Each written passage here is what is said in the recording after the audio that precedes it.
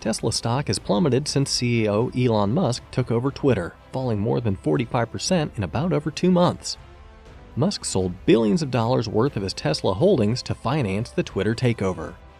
On December 14, 2022, Tesla shares extended declines to hit their lowest level in more than two years, as investors, including a fanboy of CEO Elon Musk, lashed out at Musk's distraction from the electric car company following his buy of Twitter.